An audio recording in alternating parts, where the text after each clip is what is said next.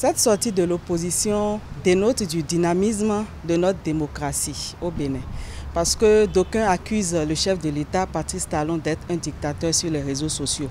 Je ne pense pas que dans un pays de dictature, l'opposition puisse sortir de cette manière et pouvoir s'exprimer en toute liberté. Donc je pense que c'est la preuve que effectivement notre démocratie est toujours aussi dynamique. Leur requête pour la suppression de la criette, euh, je ne trouve pas ça opportun. Depuis des années, nous avons voulu, toujours voulu en finir avec euh, l'impunité, c'est-à-dire euh, montrer aux, citoyens béninois qu'on ne touche pas au bien public. La plupart des dossiers, des scandales qu'on a connus ces, ces dix dernières années, nous n'avons pas eu véritablement ceux qui étaient vraiment coupables dans ces dossiers-là. Alors, la criette, si la criette peut se saisir de, de, ces dossiers, je trouve que c'est une bonne chose. Eh, l'opposition ne veut pas demander qu'on supprime la, la criette. Euh, la criette. La loi sur la criette a été votée au niveau de l'Assemblée. Et dans cette Assemblée, nous avons euh, l'opposition.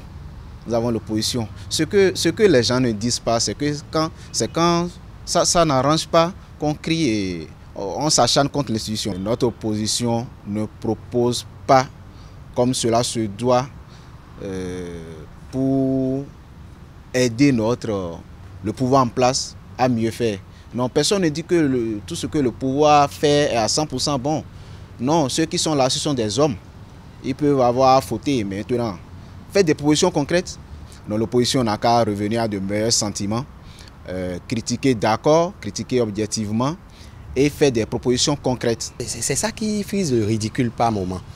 Des opposants ne peuvent pas se lever et demander, par exemple, parce qu'on est un opposant, on veut refuser à une institution légalement et légitimement installée de cesser ses activités parce que on sent la menace selon euh, euh, que demain on peut être interpellé. Non, on ne peut pas parce que on se reproche des choses parce qu'on traîne des casseroles, refuser qu'une institution fasse son travail. On ne dit pas on est innocent. Mais on dit que c'est de l'acharnement. On dit que non, c'est orienté. Vous voyez pas, c'est de ça que je parle. C'est ça qui, moi, me gêne un peu euh, quand je regarde cette opposition. Si vous, vous aviez été un temps, euh, on vous avait confié hier la gestion de la chose publique, que vous n'aviez pas fait une gestion orthodoxe, que vous n'aviez pas été réglo, c'est normal que vous ayez peur et que vous preniez le monde comme témoin et que vous criez à l'acharnement. Pourquoi les autres qui sont de l'opposition et qui sont tranquilles, qui parlent du matin au soir, ne s'inquiète pas. On ne peut pas le désiler. Un fuyard ne peut pas être un exilé politique. Un exilé politique, c'est quelqu'un qui, pour, des, pour son opinion politique, est contraint à l'exil. Mais vous vous levez vous-même, vous payez votre billet d'avion, vous quittez votre pays en catimini et vous, arrivez quelque part et vous décidez de, de, de vous exprimer et vous dites que vous êtes exilé politique. Exilé par rapport à quoi? Ils aiment bien mettre la main dans la chose publique, non Et pourquoi ils ne veulent pas répondre de ça? C'est de ça qu'il s'agit. Ils doivent pouvoir répondre de ça. Ce n'est pas des opposants à un système, c'est des opposants à un homme. Le problème de l'opposition aujourd'hui, c'est Talon. Il a fermé les réservoirs de l'évasion fiscale, des détournements. Il a fermé les réservoirs de, de la corruption, tout. Donc, Aujourd'hui, ils se sentent carrément euh, euh, en difficulté parce qu'ils avaient une facilité pour mettre la main dans l'argent du, euh, du peuple. Et aujourd'hui, ils n'ont plus cette facilité-là de, de, gaspiller nos sous. Ils n'ont plus cette facilité de toucher nos sous. Donc, pour eux, tout de suite, ah, il faut lui créer toutes les misères. Il faut le saboter. Il faut détruire même au besoin le nom, le nom du Bénin. Ce sont les soubresauts d'un animal en agonie, quoi. Donc, c'est ça, quoi. Ils n'ont ils rien de sérieux à dire. Quand vous on vous demande de venir se justifier, de se présenter devant, devant la justice et vous, vous quittez le pays, ça c'est pas pas un exil politique comme ils le disent. Non, ils ont fui la justice. il n'y a pas d'autre mot pour le dire. Exilé politique, quand on refuse de se soumettre à la justice de son pays, euh, je ne pense pas qu'on puisse parler d'exil parce qu'il n'y a pas eu de persécution dans le pays. Et quand on sait qu'on n'est pas coupable, je pense qu'on peut se, présenter parce que la justice euh, fait son travail dans ce pays. 300 partis politiques, chaque euh, chef de famille a son parti politique, chaque délégué de quartier a son parti politique.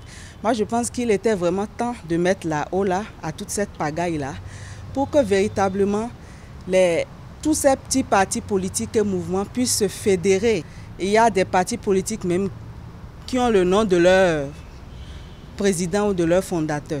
Ce n'est pas possible. Au Bénin, euh, nous nous sommes habitués euh, à une certaine catégorie de comédie qui ne dit pas son nom. Du côté de l'opposition, ils se forment, ils, forment déjà leur bloc en leur sein. Et c'est à l'heure là qu'ils demandent encore de retirer. Or, c'est l'Assemblée nationale qui a voté la loi. Et cette loi a été promulguée. Dès lors, dès sa promulgation, elle s'impose à tout le monde. Et nous devons nous conformer à cela. Et ils le font déjà si bien. Le Béninois est toujours du côté de la victime. Le Béninois est toujours euh, du côté du plus faible, de celui qui se voit marginalisé.